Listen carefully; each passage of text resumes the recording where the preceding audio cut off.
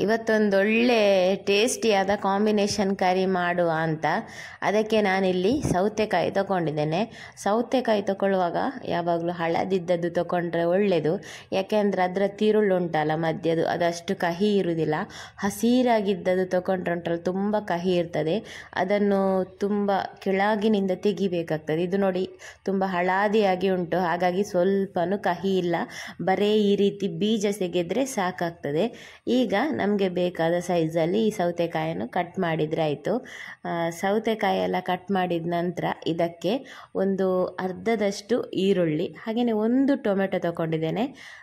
ಇದನ್ನು ನಾನು ಹಾಕಿ, ಸ್ವಲ್ಪ ನೀರು ಹಾಕಿ, ತುಂಬ ನೀರು ಹಾಕಬಾರ್ದು, ಸೌತೆಕಾಯಿ ಕೂಡ ನೀರು ಬಿಡ್ತದೆ, ಸ್ವಲ್ಪ ನೀರು ಹಾಕಿ, ಉಪ್ಪು ಕೂಡ ಸೇರಿಸಿ ಈ ಸೌತೆಕಾಯನ್ನು ಬೇಯಲಿಕ್ಕೆ ಇಡಲಿಕ್ಕೆ. ಸೌತೆಕಾಯಿ ಬೇಯಲಿಕ್ಕೆ ಇಟ್ಟು ಇದಕ್ಕೆ ಮಸಾಲೆ ರೆಡಿ ಮಾಡುವ.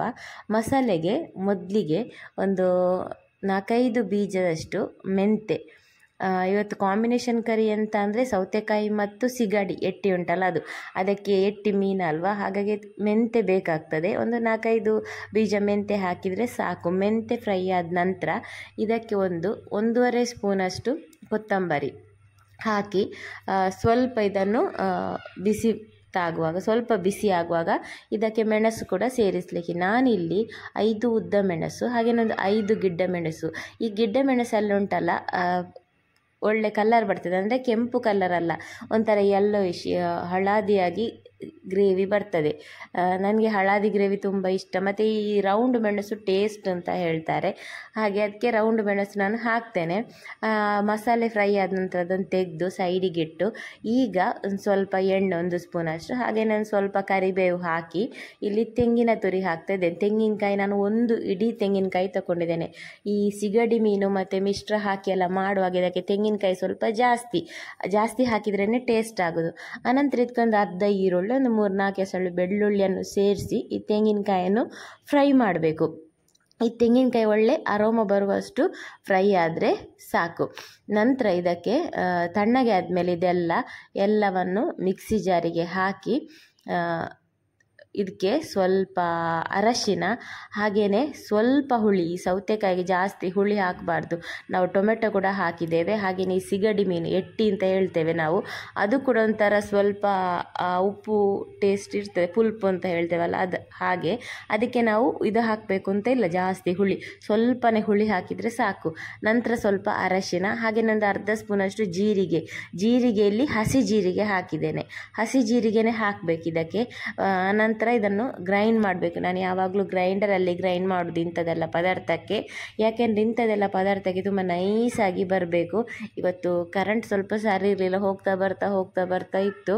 ಅದಕ್ಕೋಸ್ಕರ ಮಿಕ್ಸಿಯಲ್ಲೇ ರಪ್ಪ ಗ್ರೈಂಡ್ ಮಾಡುವಂಥ ಮಿಕ್ಸಿಯಲ್ಲೇ ಗ್ರೈಂಡ್ ಮಾಡಿದ್ದೇನೆ. ಗ್ರೇವಿ ಆದಷ್ಟು ತಿಕ್ಕಾಗಿ ಮಂದವಾಗಿದ್ರೇ ನೈಸಾಗಿ ಗ್ರೈಂಡ್ ಆದ್ರೇ ಇದು ಇನ್ನೂ ಟೇಸ್ಟ್ ಆಗೋದು. ಆನಂತರ ಹದ ನೋಡಿಕೊಂಡು, ಇಲ್ಲಿ ಸೌತೆಕಾಯಿ ಬೆಂದಿರ್ತದೆ. ಹದ ನೋಡ್ಕೊಂಡು ಇದಕ್ಕೆ ಮಸಾಲೆ ಸೇರಿಸಿ, ನೀರು ಕೂಡ ಸೇರಿಸಿದರೆ ಆಯಿತು. ಈಗ ಸೌತೆ, ಇಲ್ಲಿ ಸೌತೆಕಾಯಿ ಗ್ರೇವಿ ಕುದಿತಿರುವಾಗ ಈಚೆ ಕಡೆ ನಾವು ಇದಕ್ಕೆ ಒಗ್ಗರಣೆಗೆ ರೆಡಿ ಮಾಡುವ. ಇದರಲ್ಲಿ ಮೇಯ್ನ್ ಈ ಒಗ್ಗರಣೆ, ಈ ಒಗ್ಗರಣೆಯನ್ನು ಮಿಸ್ ಮಾಡಲೇಬಾರ್ದು. ತೆಂಗಿನೆಣ್ಣೆ ಹಾಕಿದ್ದೇನೆ. ಅದಕ್ಕೊಂದು ಸಣ್ಣ ಈರುಳ್ಳಿ, ಅರ್ಧ ಭಾಗದಷ್ಟು ಸಣ್ಣಗೆ ಕಟ್ ಮಾಡಿ ಈ ರೀತಿ ಹಾಕಿದ್ದೇನೆ. ಇದಕ್ಕೆ ಈರುಳ್ಳಿ ಒಗ್ಗರಣೆಯೇ ಒಳ್ಳೆ ಟೇಸ್ಟ್ ಕೊಡೋದು.